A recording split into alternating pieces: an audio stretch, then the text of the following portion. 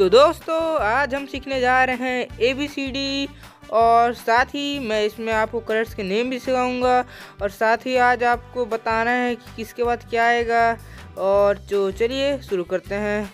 तो सबसे पहले red colour A red colour किसके लिए है दोस्तों? ए चलिए मैंने आपको एक हिंट दे दिया है और कौन सा colour brown colour brown colour. ये रहा हमारा ब्राउन कलर। अब कौन सा कलर दोस्तों? Blue colour. Blue colour. ये देखिए, ये रहा हमारा ब्लू कलर। अब कौन सा कलर?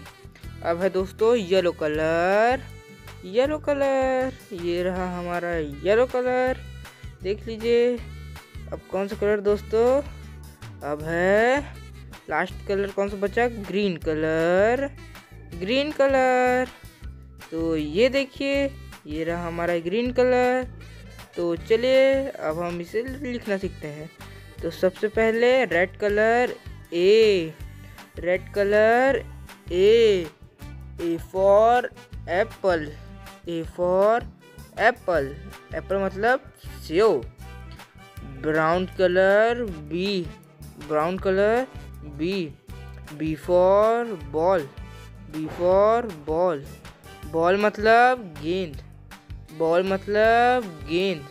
तो हमारा बी कंप्लीट हो गया है दोस्तों. अब कौन सा colour blue colour C C for cat cat मतलब बिल्ली.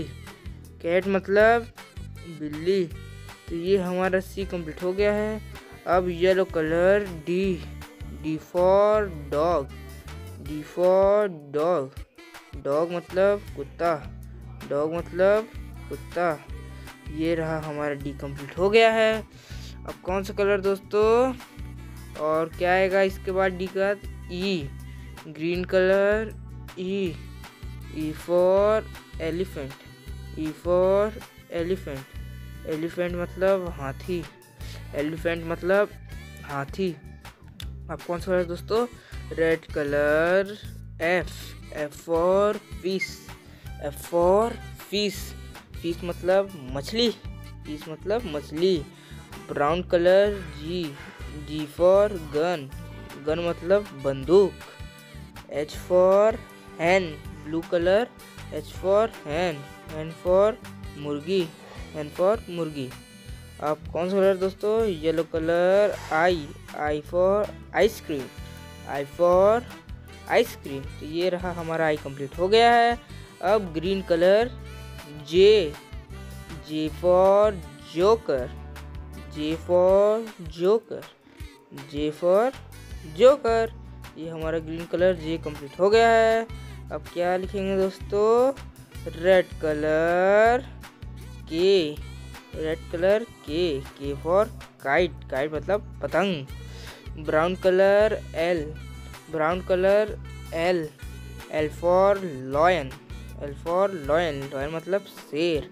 तो दोस्तों, हमारा ए से एल तक A B C D complete हो गया है। वीडियो अच्छी लगी है तो लाइक कर दीजिए, चैनल बनाए तो सब्सक्राइब कर दीजिए। मैं मिलता है ऐसे नई वीडियो में। तब तक लिए बाय बाय दोस्तों।